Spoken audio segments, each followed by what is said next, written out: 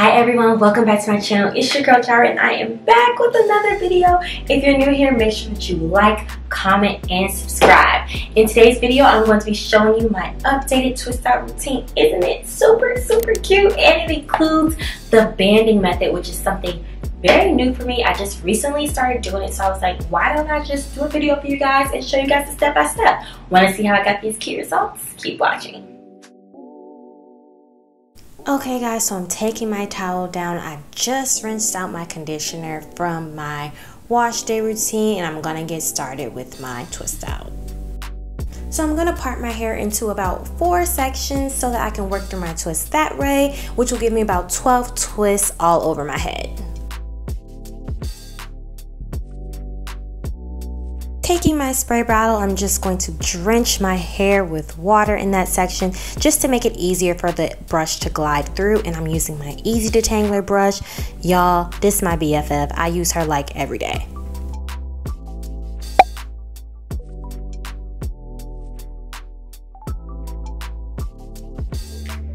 And now I'm applying my Camille Rose honey leave-in to that section. If you want moisture, this is gonna be your best friend. I'm making sure that I smooth it throughout that section so that my hair can absorb the product. Y'all see what that product did to my hair? I mean, look at it. Now I'm just taking my wide tooth comb and I'm gonna part my hair into three sections so that will give me about three twists to work with for this part.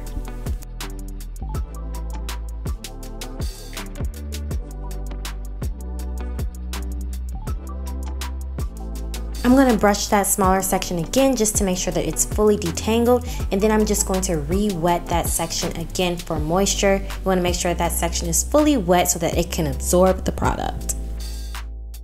Going in with my Emerge cream, I'm just going to apply that to that section. This cream is perfect for twist outs. It's going to give us moisture to last for up to like seven days, if not longer. And I'm just making sure that I smooth it through that entire section. And then I'm going to start the flat twisting process. I have a video on my channel that walks through it a little better, but I'm just going to make sure that I take two pieces at the top of this section and slowly start twisting down to my scalp. And as I twist down the side of my scalp, I'm slowly adding in the other pieces of that section, and that's how you'll get it to twist to your scalp. I'm going to be sure to link down some how-to flat twist videos in the description box that helped me when I was learning how to flat twist.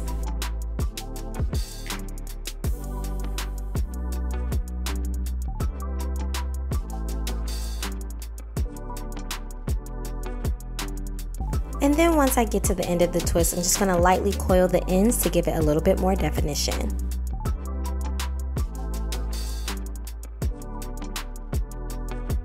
And then I'm just gonna repeat these same steps on the next section.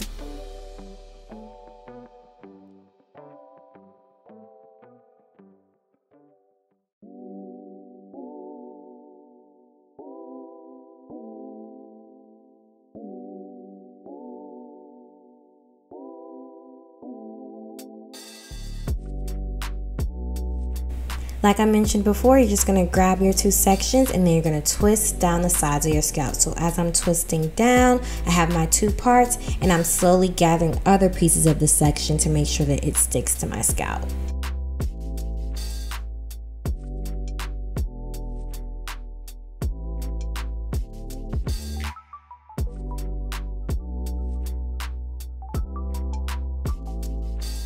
I didn't mention it in the first twist, but I do go in and add that Aunt Jackie's gel on the ends just to give it some more extra definition.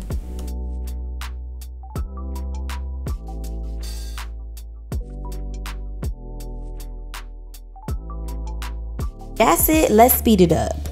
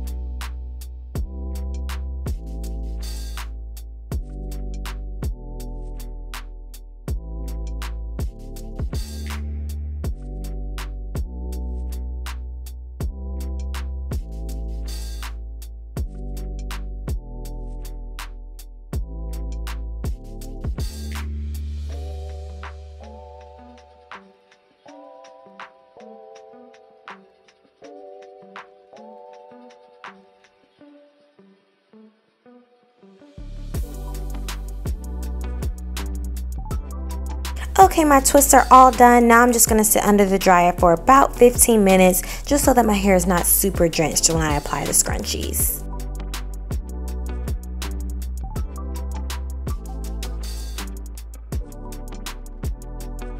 Alright, we're all done, so let's go in and do our banding. I'm going to be using regular scrunchies and I'm just to be using about four per section.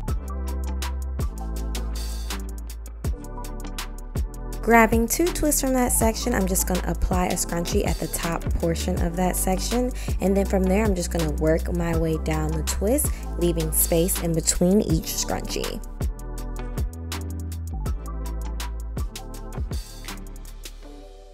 Also, I'm wrapping the scrunchie about three to four times just to give it enough tension but not too much to stretch the twist.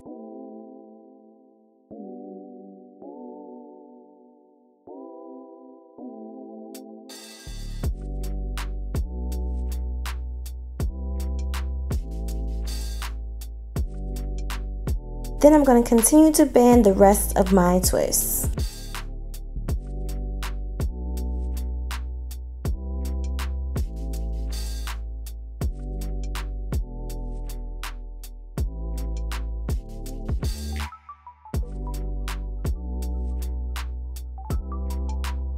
Y'all, look at the difference in length already.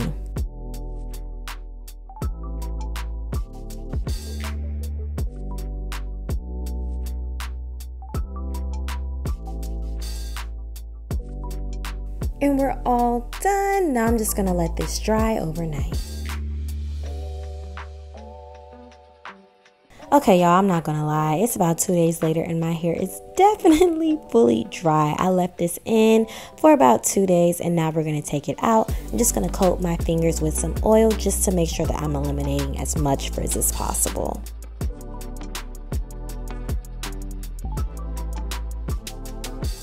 I'm really making sure that I'm taking my time and slowly removing my scrunchies.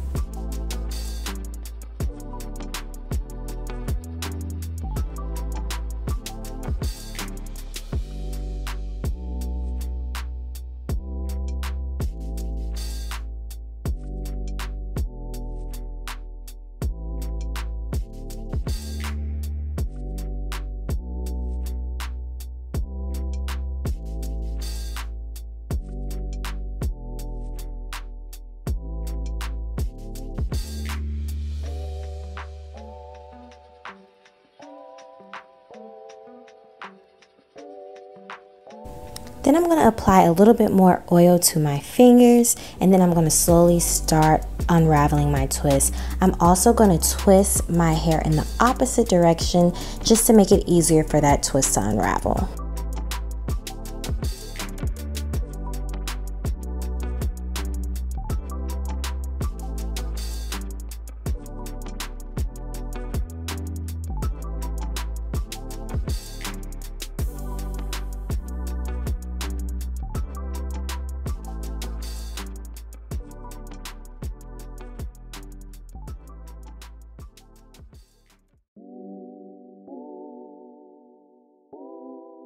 Right here, you can see a little better how I'm twisting that twist in the opposite direction before I start to unravel the twist. And that just takes off some time when you're unraveling it. And it also helps with the frizz as well, which I don't really mind, but this is for the girls who don't like the frizz.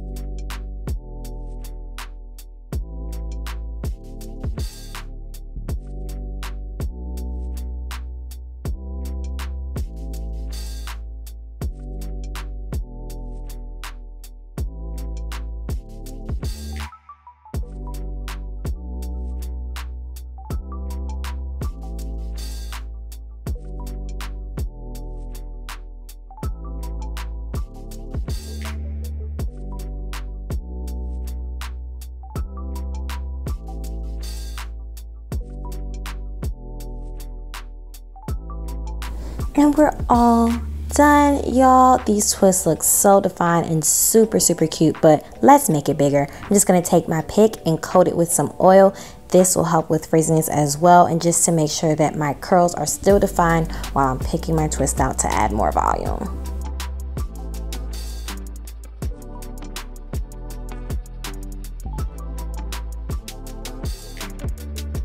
I also try not to pick it out too much because I know that it'll naturally get bigger over time. So I'm just being very careful with how I pick it out. Alright y'all, so there you have it. This is my updated twist out routine. It gives me a little length and it's super, super cute. Y'all, make sure that you try this banding method out. You'll love it. If you're new here, don't forget to like, comment, and subscribe. I'll see you guys in my next video. Bye.